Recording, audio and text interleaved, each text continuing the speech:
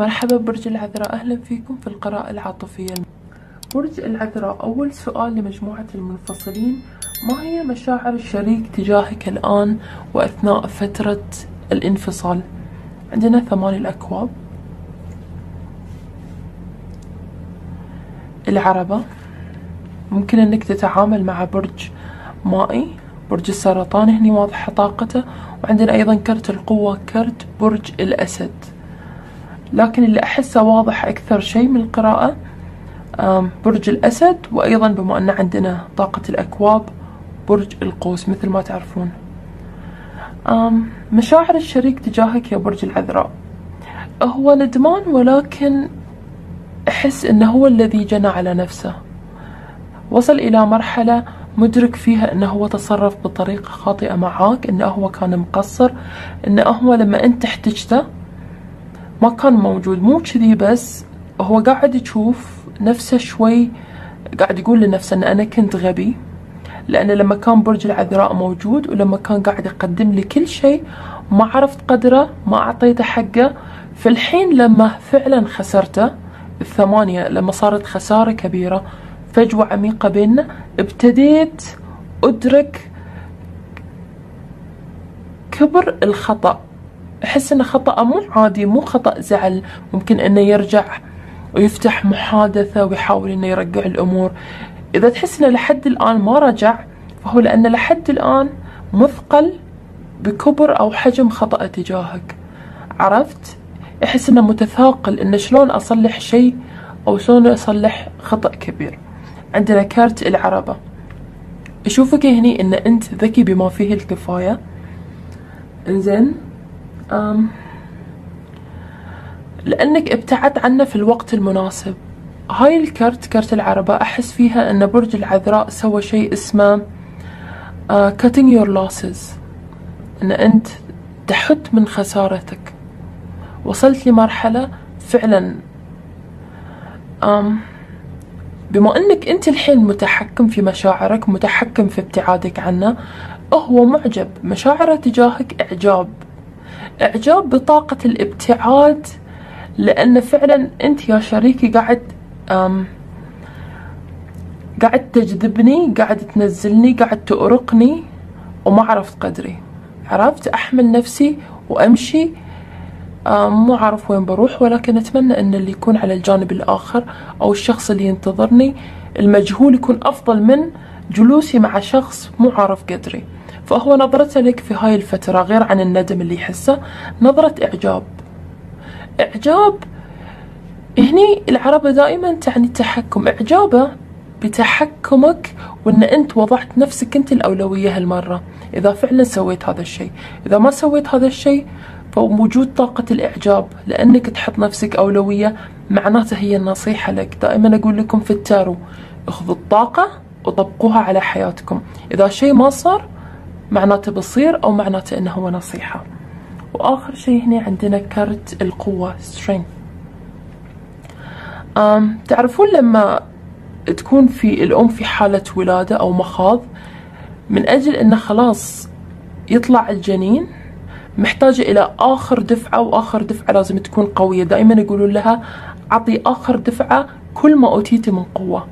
هو يحس ومشاعره تجاهك أن أنت مسيطر ولكن أنت في نفس الوقت قاعد بدون حتى وجودك في حياته قاعد تستنفذ قوة. شلون عن طريق ابتعادك؟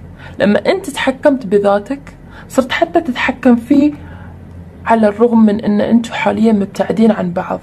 على الرغم وبغض النظر من اللي كان آه، المسؤول عن نهاية العلاقة ومن اللي اختار الابتعاد من اللي غلط ومن اللي أصدر ردة الفعل من أجل الابتعاد. فهذا الشيء قاعد يستهلك قوته طاقته. آخر ذرة دائما أقول هذه آخر ذرة طاقة عنده. آخر ذرة حتى مو بس طاقة كرامة. قاعد أحس هني كرامة. مشاعره تجاهك وهذا شيء من المضحك ولكن مشاعره إن آخر ذرة كرامة قاعدة تروح العربة قاعدة تروح بابتعادك بثباتك على قرار أو على وضع الانفصال إذا أنت كنت ثابت. إذا ما كنت ثابت مثل ما قلت لكم معناته أن أنت محتاج التحكم والثبات. إذا أنت مثلا كنت اللي تراكض وراه وتسأل عنه وتحاول أنه ترجعه أنت عندك شخص وتتعامل مع شخص بالعكس راح يعجب لما تظهر جانب من التحكم بنفسك. أوكي؟ وجانب من أضع نفسي أولا. السؤال الثاني. أم هل الشريك راضي وسعيد بالانفصال؟ عندنا هني فارس الأكواب ملكة النار أبدا مو سعيد وملكة الأكواب. هذا يرجح طاقة اللي قلت لك عنه برج القوس وبرج الأسد أحسهم هني الأبراج النارية واضحين. آه طاقة الماء ممكن يكون أيضا برج مائي ولكن أحس هني طاقة الماء مجرد يحاول أنه يراضيك أو يفتح معاك محادثة من جديد. هني شريكك قاعد يقول لي الجواب لسؤالك لا يا برج العذراء شريكك أبدا مو راضي بالانفصال ومستعد حتى لدرجة أنه مستعد أن يتخلى عن آخر ذرة كرامة مثل ما قلت لك. ولكن هذا الشيء يأتي مع ثمن. شنو الثمن اللي أنت راح يمكن حتى تضطر أن تتعامل معه؟ في البداية راح يحاول معك بالأسلوب الحلو. بالأسلوب اللطيف بالكلمة الطيبة بأسلوب الاجتذاب الاعتذار. سامحني يسأل عن أحوالك ولكن إذا صار في رفض من جانبك إذا ظليت معاند متحكم راح تشوف جانب خلي أقول لك مظلم شوية من شريكك. جانب مخيف. أنا أشوفه هذا أنه جانب مخيف. لأن هذه الكرت يقول لي أنه بالطيب أو بالقوة ما يهمني شنو أسوي ولكن أهم شيء أن أحصل اللي أبي أحصل على مرادي. هذه الطاقة شوي مخيفة عندك شخص تتعامل مع شخص بعد فترة قاعد أثناء التحول أشوفه يتحول من فارس الأكواب إلى ملكة النار. قاعد يتحول إلى شخص ما يهمه الثمن اللي يندفع. مثلا ما يهمه أن أهلك يعرفون ما يهمه أن الناس يعرفون هذه الطاقة اللي راح يتحول لها. ما يهمه أن أنت باكر شنو تفكر فيه شنو رأيك فيه. عنده هدف واحد أن أنت ترجع في حياته. قاعد يقول لك بالطيب أو بالقوة فمعناته أن الوضع جدا أم في تحول في الطاقة. خليك معاي برج العذراء. في تحول من في الطاقة. أول خطوة قاعد يقول لي أنا الغلطان ولكن راح أستخدم كل ما أتيت من قوة لآخر ذرة كرامة عشان أرجعه. بالطيب. قصة متشابكة كامل. بالطيب. مايا بالطيب. القوة. القوة البأس آه إن أنا أهدده إن أنا مثلا أظهر في مكان عمله إن أنا أسأل شخص المفروض ما يدري عن خصوصياتنا أكل أتكلم مع شخص المفروض ما يدري عن خصوصياتنا. مستعد أنه يخترق الطاقة المظلمة. السؤال الأخير للمنفصلين ما هي خطوته القادمة؟ ثمان السيوف أن يخرج عن إذا أنت مسوي له بلوك أو ما تتكلم معاه يبي يرد يفتح معاك باب للحوار. مجرد كلمة شلونك؟ شخبارك تاخذ وتعطي معاه كفاية بالنسبة له. هذا أول باب يريد أن يخترقه. الكوب الأول Ace of Cups يبي يراضيك هذا. ولكن مراضاته تأتي بحجم جدا ضخم. يعني مو فقط اعتذار ترى الاعتذار وقصة شلونك؟ شخبارك؟ إن شاء الله طيب شلون أهلك؟ طمني مثلا يأخذ آخر أخبارك. هذا مجرد أول باب. بعد هاي المحادثة راح تشوف صدمة من هذا الشخص. أشوفها صدمة إيجابية بما أن عندنا أول أكواب. صدمة إيجابية على طول ياخذ معك خطوة كبيرة. على طول على طول يقول لك أنا الحين مستعد أسوي اللي قبل ما سويته. على طول يبتدي يقترح بدون حتى أنت ما تطلب أن هاي الكوب الأول كوب العطاء الهدية. بدون اقتراحك بدون ما تفتح الموضوع هو إيه ويوقع عليك مثل القنبلة أو مثل المفاجأة الضخمة ولكنها إيجابية. مفاجأة مثلا خلنا نتزوج مفاجأة أنا حين أبي أتكلم عن المستقبل أنا حين أبي أبني معاك شيء في المستقبل ولكن شريكك على وشك أن يدخل في طاقة شوي مظلمة. وآخر كرت للأمور أو الخطوة اللي مستعد ياخذها السيفين. هو مستعد يعطيك الكوب الأول ولكن هنا عندنا السيفين ما يبي يخوفك في نفس الوقت لأن استعداده صار من صفر راح عندك من صفر راح لألف فما يبي يخوفك. هو مدرك إن أنت ممكن تخاف من طريقة تصرفاته القادمة فكأنما راح يبين لك بس خمسين بالمية. السيفين معناته منقسم بس خمسين بالمية من الأمور اللي مستعد يسويها. كفاية راح يعطيك شوية بالقطارة في البداية. كفاية عشان أنت مجرد تفتح معاه الباب تثق فيه. ما يبيك تشك في نواياه. أبدا ما يبيك تشك ما يبيك تتفاجأ. فكأنما أحس هني. ولو أنه راح تكون في مفاجأة كبيرة ضخمة تغيير كبير في هذا الشخص والشريك. ولكن راح يحاول إنه ما يظهر لك كل الجانب. ما يظهر لك الجانب المظلم. ما راح إذا ما وصل إلى هاي الطاقة قبل ما ينفتح بينكم باب التواصل مرة ثانية راح يحاول إنه حتى ما يتكلم في الأمور اللي كان يسويها مثلا من وراك إنه يدور عنك في الإنستغرام في الفيسبوك يتصل يسأل عنك راح يخفي عنك هذا الجانب عشان ما تخاف عشان ما تشك. أوكي؟ آم بس نصيحة أخيرة للمنفصلين حاولوا شوي تكونون حذرين إذا أتاكم هذا الشخص للتواصل لأن أشوف إنه باقي شعره ويفصل أو آه يبيع ويسوي أمور متهورة. الحين ننتقل إلى العزاب. العزاب أول سؤال لكم. مواصفات الشخص القادم في طريقك. عندنا ستة الأكواب ملكة الأرض وكرت العالم. طبعا مثل ما تعرفون أنا جهزت الأوراق قبل ما أدخل في القراءات عشان ما ناخذ من الوقت وايد وكل قراءة لازم تكون بكرتات مختلفة. القادم في طريقك. أم هذا الشخص ماديا جدا مرتاح. طبيعة عمله بلو آه، كولر يعني أحس أنه يعمل في شيء مكتبي شيء رسمي يتطلب منه أنه يلبس زي أنه يتعامل باحترافية عالية. وأيضا هذا الشخص موافق عليه من قبل أهلك قبل أن يدخل حياتك. يمكن هذا الشيء أنت ما راح تدري عنه إلا بعدين تكتشف. أن أهلك حسوا إنه هو راح يدخل في حياتك أو احتمال إنه يسمعون خبر إنه يتقدم لك ناوي يتقدم لك. أخذوا أخباره سووا عنه تحليل تقييم سألوا عنه عن أخلاقه. قبل حتى ما يقولون لك أو يفتحونك في موضوعه. قبل حتى ما يدخل في حياتك. في تقييم وموافقة تمت من قبل أهلك قبل ما أنت تلتقي فيه. مر على أهلك تشوفه هني خلاص. ممكن صديق للعائلة ولكن شخص جديد. آه، كان دائما من معارفكم ولكن أنت بشكل مباشر برج العذراء ما احتكيت معه. انزين خلينا نشوف وظيفته وشكله عندنا عشرة الأكواب أربعة الأغصان و Page of Pentacles. هذا الشخص هني أزرق هني أزرق. أم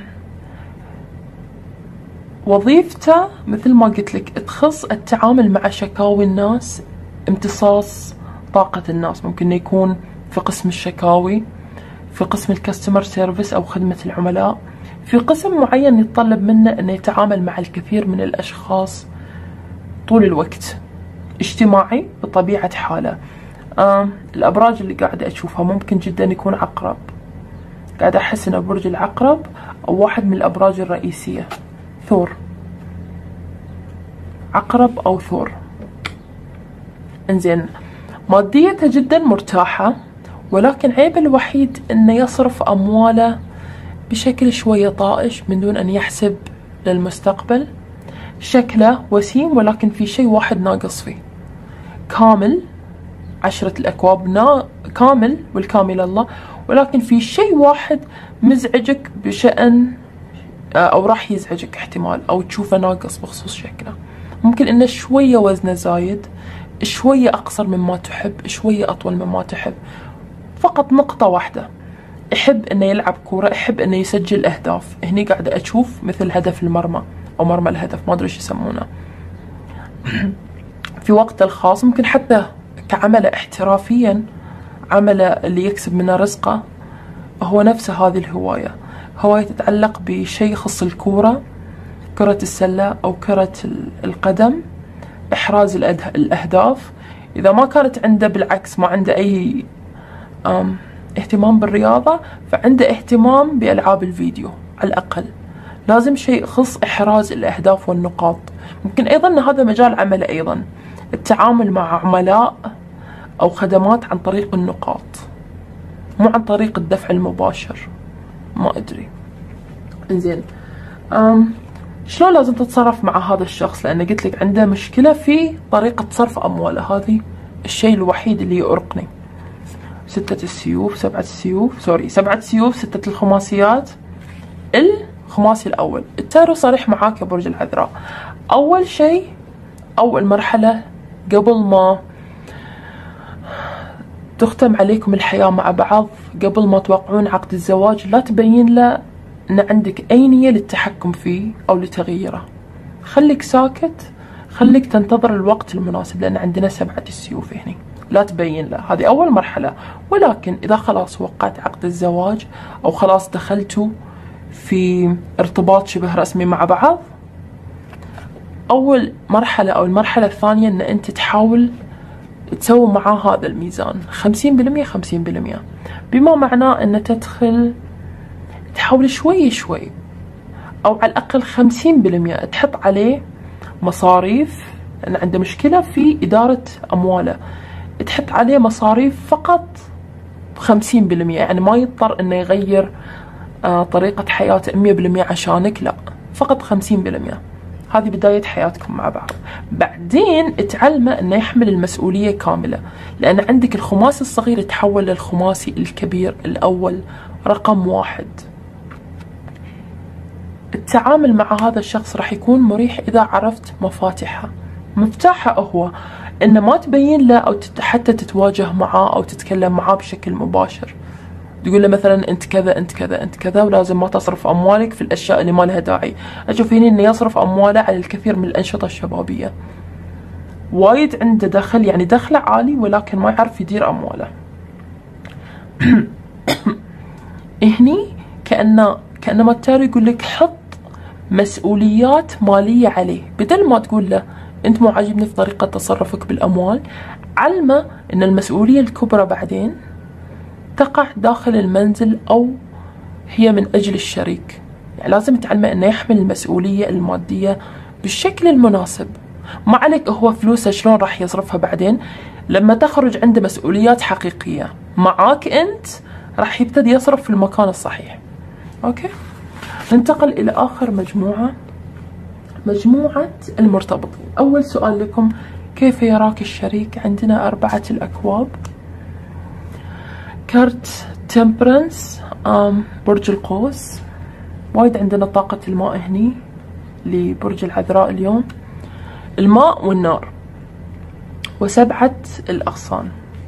يراك الشريك يا برج العذراء إن أنت كأنما أحسك تقرر بدونه. في أمور تصير في حياتكم مع بعض أو في أمور تستدعي حتى النقاش. لكن أنت دائما تختار أنك تواجهها بروحك بشكل مستقل بدون ما حتى تحاول إن تشركه في أمرك. النقطة الثانية يرى يشوفك إن أنت كأنه ما في شيء عندكم ما أزمة تخص المال أزمة تخص في مشكلة قادمة في الطريق أو مشكلة حاليا. إنزين أنتوا اثنينكم تعانون منها بما أن أنتوا في شراكة سواء زواج أو علاقة. ولكن أنت دائما تختار أن تواجه الشيء بروحك. لما شريكك يشوفك إنه لما يقترح عليك يحاول يطلع لك بحلول يقدم لك تسويات أنت ما تقبل. أنت تقول لا لا لا لا لا لا لا. يعني عندكم مشكلة وفي نفس الوقت ترفض أي حلول من جانب الشريك. بما معناه شوية محتاجين أن تعملون على جانب الشراكة في الفترة القادمة.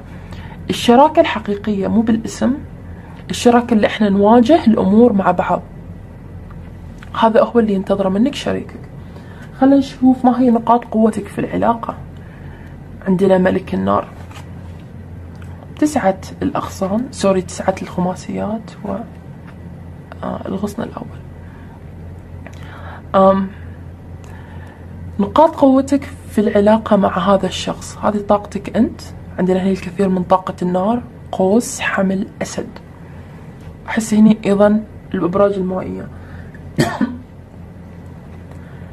نقاط قوتك أن أنت مو متكل على هذا الشريك أو ما قاعد. الكثير من الأشخاص يفكرون الشراكة إن إحنا لازم نخنق ونملك الشخص الثاني. أنت تحب تنجز؟ تحب تنجز؟ تحب تسوي؟ تحب إنه آم تكون شريك حقيقي. هذا اللي قاعدة أسمع الرسالة لك. بما معناه ما تحب أنك تتملك الشخص وهذا يعطي شريكك حرية. يحب أن أنت تثق فيه وتعطيه حرية بعيد عن العلاقة. كوننا إحنا في علاقة أو في زواج مو معناته أنه لازم 24 ساعة مع بعض وكل الأنشطة اللي نسويها تكون مع بعض. أنا هني قاعدة رسالتي تروح لبرج عذراء جدا واثق من طاقته واثق من نفسه مرتاح يعرف متى يقضي الوقت مع نفسه مع أهله تقسيمه للأهل لنفسي للشريك. جدا تقسيمة جميلة. في نفس الوقت أنت اللي قاعد توجهه ترى أنت اللي توجه الشريك. قاعد تقيده بالأفعال. هو يقيدك بشوي السلطة الأوامر يحب هذا يعطي أوامر. أنت تقيده بالأفعال نموذج. هذا من نقاط قوتك معاه وأيضا تعرف شلون تحفزه. عندك مفاتيحه. المفتاح لما تكون فعلا تبي تستخدمه مع هذا الشخص تعرف له. تعرف شلون تحصل منه على النتيجة اللي تبيها. إنزين السؤال الثالث. شلون توافق بينكم راح يكون آه البرج؟ الساحر الإمبراطور. وايد ناس بما انه شافوا كرت برج البرج راح يخافون ولكن بما انه وقع جنبه الساحر فما في أي داعي للخوف. في مأزق هني أنتوا راح تمرون فيه مع بعض. ما يخص الخيانة لا يخص شيء بخصوص مكان العمل مشكلة داخل البيت. إنزين أزمة. إنزين. في آخر لحظة الله سبحانه وتعالى راح يخرجكم اثنينكم منها. راح يكون في تدارك للوضع. حل يعني خلاص البرج راح يقع مشكلة راح تصير ولكن ما راح تأثر على علاقتكم. في آخر لحظة راح يكون في مثل الملاك الحارس اللي يساعدكم. ولكن التوافق احذر انه ما أدري ليش قاعد أحس يا برج العذراء إن أنت راح تنقذ الموقف. كانما أنت اللي راح تخرج هاي الأشخاص أو حتى الشريك من الأزمة اللي على وشك أن تحدث. في مشكلة. ابتدت كمشكلة وعلى وشك أن تتحول إلى أزمة. ممكن جدا هتكون في مكان العمل. وأنت اللي قاعد تعطي شريكك الأفكار وتوجهه. لا تنسى هني عندنا طاقة التوجيه. ولكن احذر من شيء واحد إن أنت الناس الشجعان أو اللي واثقين من نفسهم مثلك أنت ما يخافون يعترفون بالخطأ. أوقات من الخطأ إن راسنا يكبر أكبر من اللازم. لما إحنا نشوف نفسنا أنقذنا الموقف ساعدنا شخص هذا الشخص كان راح يتورط بدوننا وبدون توجيهنا أوكي؟ نقول خلاص إحنا الحين الإمبراطور. إحنا الحين كلامنا لازم يمشي أكثر من قبل. شفت هني الأزمة اللي ابتدت إن أنت ما تسمع كلام أو نصيحة شريكك ولا حتى حلولة تكبر إلى أنا الحين ما حد قدي. ما حد يعرف يوجه هذا القارب وهاي العلاقة غيري أنا. ليش؟ أنا عندي دليل. هني برج العذراء يقول أنا عندي دليل. أنا أنقذت الموقف. أنت بدوني كنت راح تتصرف خطأ كنت بدوني راح تنحط في السجن. أنت بدوني كنا راح نخسر الميراث. لحد يكلمني. أنا وصلت إلى أعلى مستوى. وبالعكس تتوقع من شريكك انه دائما ينفذ توجيهاتك أنت. بس هذه النقطة إذا حذرت منها إذا وعيت لها من الحين راح التوافق يكون جدا جميل. الساحر يقول لك أوقات جدا سحرية بينك جميلة وسحرية بينك وبين الشريك